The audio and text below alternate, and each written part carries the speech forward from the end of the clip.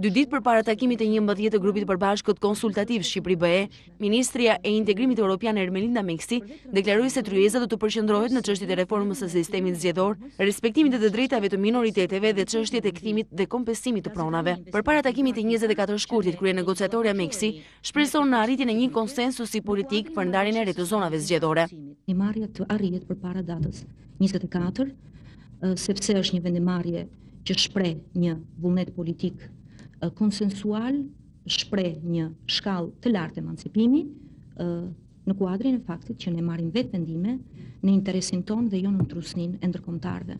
Në lidhje me kërkesën e ndërkombëtarëve për një regjistrim të saktë të minoriteteve në Shqipëri, pala shqiptare do të referojë të dhënat zyrtare të vitit 2001, botuar nga Instituti i Statistikës. Shifra për gjithë minoritetet, jo vetëm për minoritetin grek.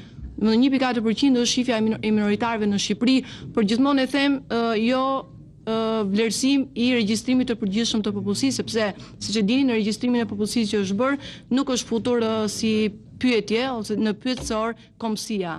Në këtë kuptim 1.4% që ka dalë vetëm në bazë të një survejimi në kuadër të matjes së uh, varfërisë në kuadër të strategjisë për reduktimin dhe zbutjen e varfërisë.